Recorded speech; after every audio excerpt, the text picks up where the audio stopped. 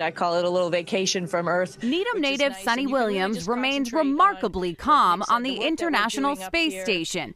Day 250 into what was supposed to be a week long space mission. You know, since we've been here, we've had a way to get home if we really needed to in an emergency. Williams and fellow astronaut Butch Wilmore speaking out about the much longer than expected stay.